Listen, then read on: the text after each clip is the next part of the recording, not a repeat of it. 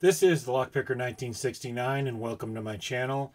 So, got another mail call to go over. Um, I've been talking with Chris Capune, uh, asked him for some guidance and some help with disc detainer locks. So, Chris suggested, hey, um, I'll send you out a lock that, uh, you know, will, will help you uh, in your journey. So, this is the package he sent. Um, so, I'll go into that real quick. Uh, I asked him if I could you know, review this in a package opening, and he said absolutely. So, um, apparently he has a video ready for me once I get this package. Wow.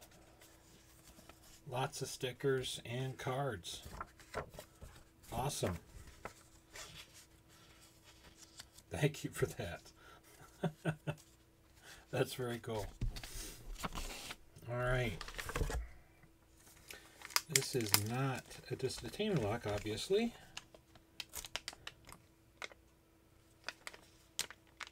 Oh, it's a best core. Looks like it has uh, maybe the operating key and the control.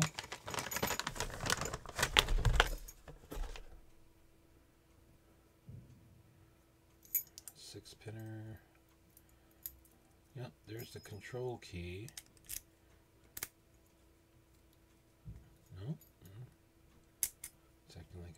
Key. I guess they're both. Oh, there's the. There we go. There's the. All right, cool. Thank you for that.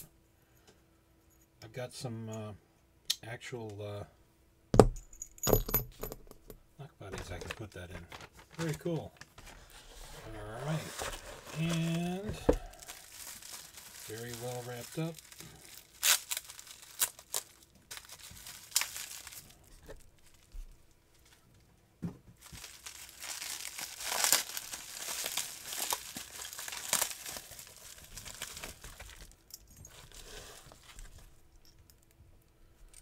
All right. All right, we'll get that to go. I'll attack that today. It's a um, just a cheap. It's a Chinese ugh, Chinese lock basically.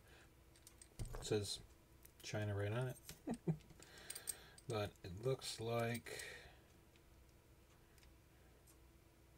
it's tensioning off